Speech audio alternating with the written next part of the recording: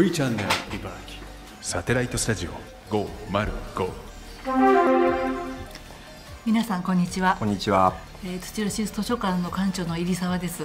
はい、副館長の大貫です。本日から、えー土浦カルチャンネルとしてあのー土浦市内の、え4つの文化施設の、えー情報をお伝えしていくという番組がはい。始まりました、はい。あのえー先週からご覧いただいている方は同じメンバーで何をやってるんだという感じだと思うんですが変わってない感じですねあのえー4月からあの、えーこの番組改編いたしまして、えー新たにカカルチャンネルということでスタートいたしました。はい。やはりあのこの間あの土浦市、ね、この規模人口規模で4つの文化施設、えー博物館あとあの高校資料館、ねはい。あとアルカスにあります我々の図書館と市民ギャラリーという4つの文化施設を有している、えー文化の街ということでなかなかあの他の町ではこれだけのあの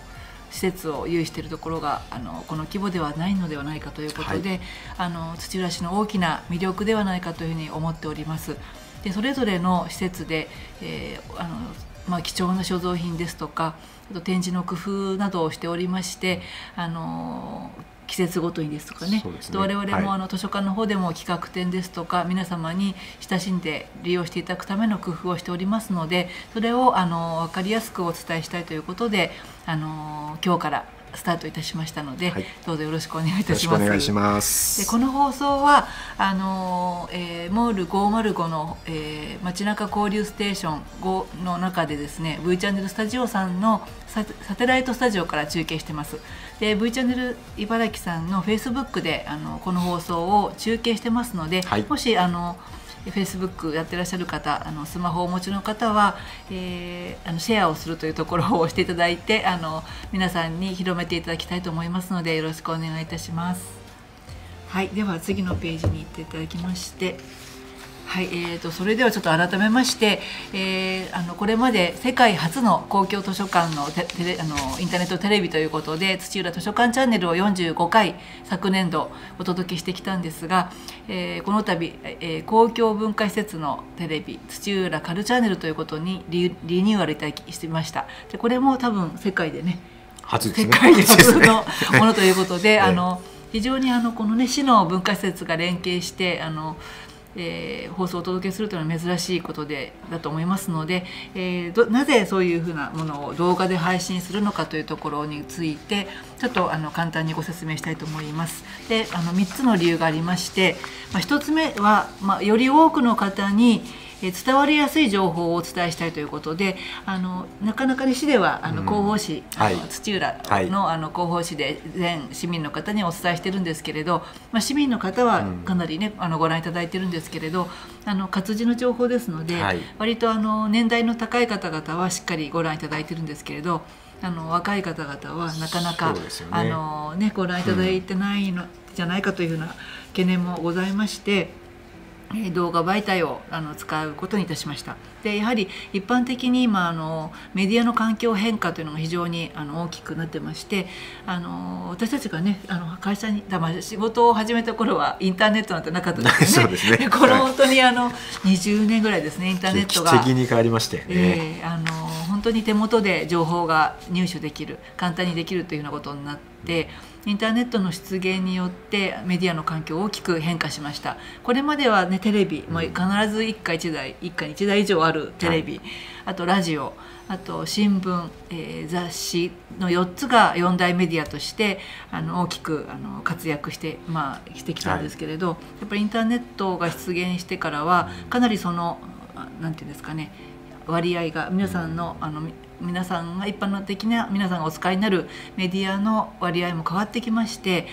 えー、とちょっと手元にあるのがあの博報堂 DY メディアパートナーズというあの会社の調査の結果なんですがこの10年の変化を見ましても、えー、と一般の皆さんがうんなんどういうメディアを一番使われるか接触時間というのを調べたところ10年前、まあ、これ2006年になるんですが、えーまあ、あの1週間に300時間ですね。300時間のえーメディア接触時間のうちテレビを見ている時間が6割ぐらいだったんですね。でその時はまだインターネットが出始めで、はい。まあ、インターネットもパソコンですとかスマホはその頃はまだそ普及してなかったんですよね。まあ、パソコンがメインのもので2割ぐらいの方しか、まあはい。あの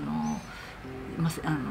パソコンを通じてあの情報を入手しなかった、うん。ところが、えー10年後2016年になるんですけれどメディアの接触時間もえ300時間から400時間と100時間も増えてましてでその一方テレビを見る時間というのはその中の4割ぐらいにへ落ち込んできているんですね。その代わりあのもうパソコンが4.5割とテレビよりもあのインターネットを使ってパソコンやスマホですとかを見る時間の方が増えてしまったというあの環境の変化もありましてでやはりあの、まあ、紙の媒体だけでお伝えできるものの限度もあるのかなっていうのもあり感じてましたので、まあ、あの動画を使ってみようかというふうにあの思いましてあの始めました。でやはりあのメディアは紙のメディアとこういう動画のメディアを組み合わせて、あのメディアミックスとかクロスメディアって言いますけれどいろいろな媒体を組み合わせることによってあのメディアごとにその使われているターゲット、うん。年齢層が違うのでターゲットに届きやすくなるということもありますので、まあ、あの我々としてはチャレンジなんですけれど、はい。い、ろいろな媒体媒体を使ってお届けするという、あのチャレンジです。それであのはい、あのちなみにですけれど一般的なイメージ今テレビは分かりやすく情報を伝えてくれるというイメージがあるらしいんですね調査の結果。でラジオは生活者の声に耳を傾けてくれてる感じ。うん。やはりよくねあの耳からはい。伝わる情報、なあの強いので。あと新聞がポリシーやメッセージ性を感じられるというイメージ。でしあの雑誌は今ちょっと発行部数も、まあ、あのまた、ね、媒体自体も少し減ってる傾向にありますけれどセンスがいいですとかかっこいいですとかってイメージがあるそうです。それで一方インターネットに関しては斬新な情報が多いということでやっぱり身近な情報ですしあと情報の速度が非常に速いのではいやはりあの、まあ、その辺りで親しまれてるのかなということもありまして、えー我々はそれを使って、はいあのやってみようかなというふうに思っております。で2番目には多くの方々に土浦市内を回遊していただきたいというような目的もあります。であの、ね、図書館が入っているのは駅前のアルカス土浦なんですけれど、あの博物館があるのがね机上公園皆さんし市民の方はね親しまれてると思いますけれど駅から歩いて1キロまあ15分、まあ、1キロぐらいのところにあの机上土浦城址の公園があるんですけれどそこに隣接する場所に、えー土浦市立博物館があります。でさらにえーそこから歩けませんかね？そ の歩くのはちょっとかなりの距離なんですけど、ええ。あのちょっと離れたところに、えー上高津貝塚という貝塚にあはい。の考古資料館がありまして、ただそこの辺りをこう回ることによって土浦の中心市街地ですとか周辺のあの様子が分かっていただけるんじゃないかということもありまして、できれば駅前にはたくさんの人がいらっしゃるってことがね去年もたくさんあの来訪者がいらっしゃいましたけどそこからできれば少しあの足を伸ばしていただいて博物館も見ていただきたい。また博物館からあのあの上高津賀貝塚の高校資料館にも行っていただきたいということで、はい。まあ、この情報をお伝えすることによってあの行っていただきたい。しかもあの歩くこともできますし、はい。やはり自転車の街土浦ですから。ね。え はい。あの駅ですとかあとあの何箇所かあの自転車を借りられる場所もありますので自転車で回ればすぐですよね。あのそうですね。上高塚とあのもねすぐちょうどいい気持ちいい距離じゃないですかね、なのであの、まあ、いろいろなあとキララちゃんバスですとかあの交通機関も発達してますので、はい。まあ、いろいろなあの方法で回遊していただきたいというのが一つです。でちょうどあのアルカス土浦ができてからも交通量も増えてましてあの4年前の、えー段階と比べまして毎年11月に調査した結果平日では、えー実数で3100人も増えたらしいんですね。やはり市役所も移転して、えーアルカスもできたということが大きいと思うんですけれどで、えー休日に至ってはなんと、えーさ8200人増えてるえーあのこれ11月の土日だけの、まあ、ちょっと、えー土日どちらかと平日の調査だけなんですけれど、かなりのあの8000人ってすごい感すごい増じがしますね。えましたね4年間で。ということでこのこれらの方々をこう市内をね、うん歩いはい。ていただきたいというのが、あの意図としましてあります。あとはあのこの番組は YouTube であのアーカイブ化されますので、はい。まあ、その土浦の情報をアーカイブできるということで始めました。ということであの長く親しんでいただきたいと思います。で図書館を会計に次の来週は市民ギャラリー。再来週は、えー博物館。博物で次の週が高校資料館。ということで4巻で回してあのお伝えしてしていただきますので、はい。よろしくお願いします。月に一回ぐらいですかね。そうですね。ね月に1回になります。は。はい、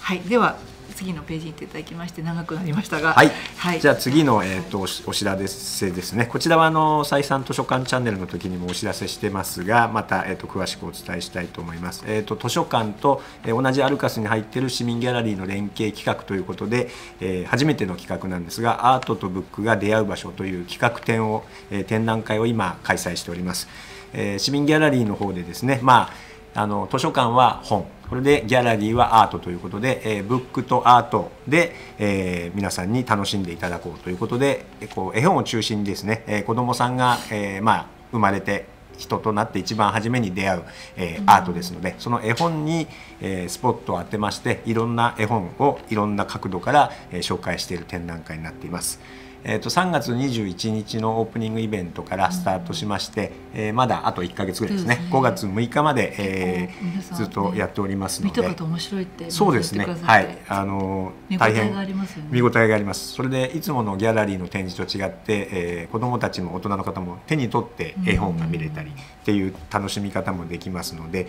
えーぜひぜひあのご来場いただければと思います。あの入場は無料になっておりますのでぜひ5月6日まで市民ギャラリーに来ていたただけると。